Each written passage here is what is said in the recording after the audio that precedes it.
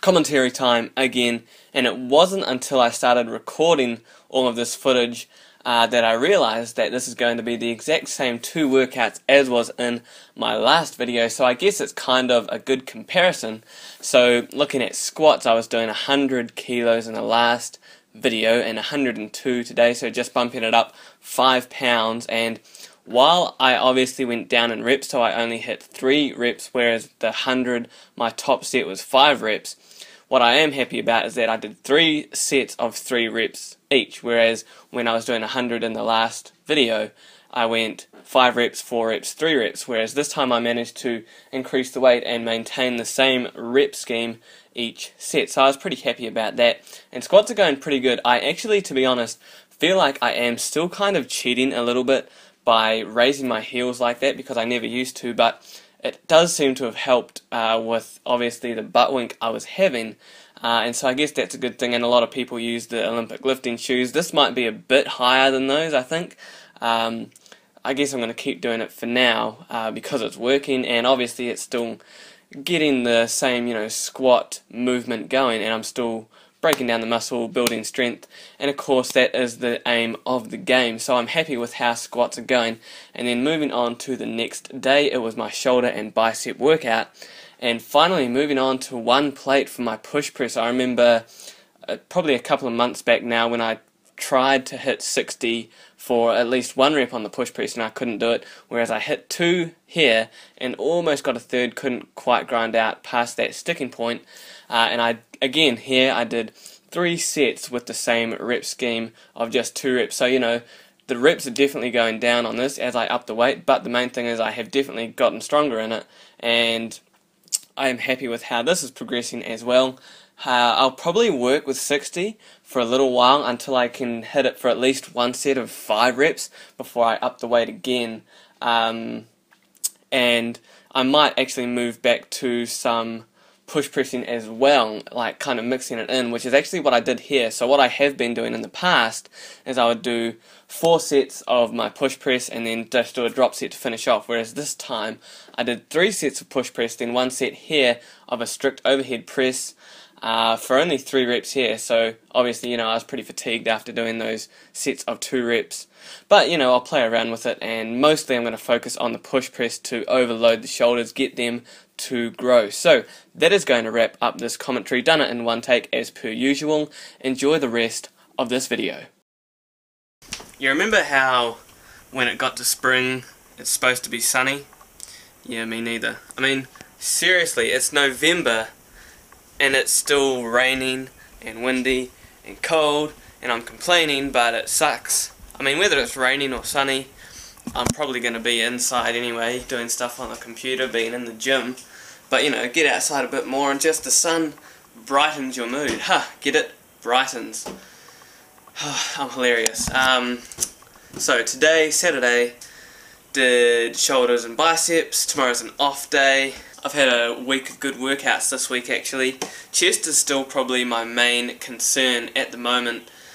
Uh, you know, I've got two months left to try and hit two plates on a bench press, uh, where my max at the moment is like 85 kilos at, at the most. Um, whereas it was uh, possibly up to around 90 uh, at the start of October. So that's the most frustrating thing. I mean, I'm still going to try and push for two plates by the end of the month, what I might do is try and start doing some more forced rep bench pressing because I feel that way uh, I can overload the bar and I'll focus on doing the negative portions and then you know getting some help up. So in, in that sense you know maybe at the moment I can barely do 85 if I put 90 on the bar get someone to help me on the concentric portion you know pressing the weight up uh, and then maybe just do like three reps like that that's really going to help overload and I think that's actually a good idea so I might do that. Apart from that though, deadlifts are probably another concern. I really need to start doing rack pulls, which I keep saying and never do. So maybe this next deadlift session, which is coming up on Tuesday, I might finally do some rack pulls.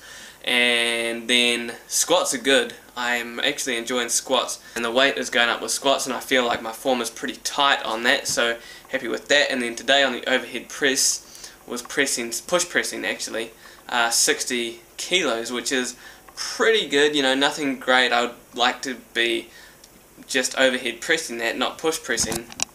But, you know, you got to start somewhere.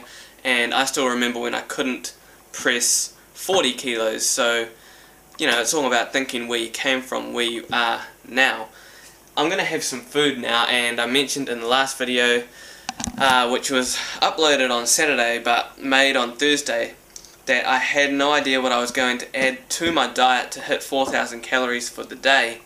That was on Wednesday I actually decided, you know what, I want to hit 4,000 calories every day. And since Wednesday I still haven't hit it. I've just been eating my normal calories because I have no idea what to add to my diet and I just don't want to add more of the same stuff. And finding something that's somewhat healthy that's not loaded with sugar or anything and that's I guess something I want to eat finding that is kind of difficult. But anyway that being said I'm sure I will find something and hopefully by at least the start of next week which technically is the day you are watching this video on Monday so hopefully this week I will be hitting 4,000 calories daily and once I do figure out what I'm going to eat I will tell you that but in tomorrow's cardio so I'll probably see you all tomorrow morning when I weigh in. Just a random side note while I think of it, I always worry that I'm never going to have enough footage for a video and then I go and do 4 or 5 minute rants just like that. That clip was 4 minutes long if I used the whole thing. I always worry I'm never going to have enough footage and then I just go ahead and talk and talk and talk.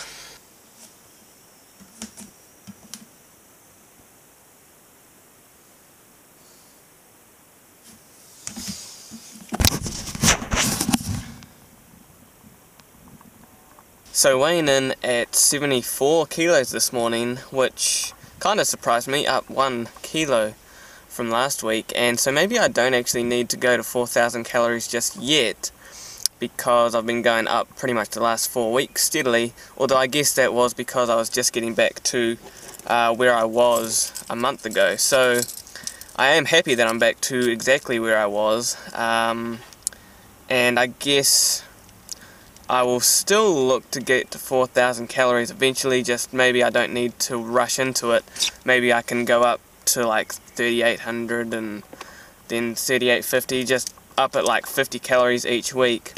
Unless I see a drop next week, in which case I might just jump straight up, but we'll wait and see what happens there. As you can probably tell from uh, the background, the, uh, the weather hasn't improved much, but um, that was a good cardio session, 15 minutes of HIIT and I'm actually slowly doing like a little bit more each time I do cardio so if I do bump up my calories it kind of compensates a little bit. So like I started off doing 10 minutes and I think you know I've added like two more sprints at the end so I'll do 30 seconds on, a minute off. And so I've just added two more 30 seconds on and then that obviously adds two more one minutes where I rest. But uh, yeah good cardio session back to uh, chest and triceps tomorrow.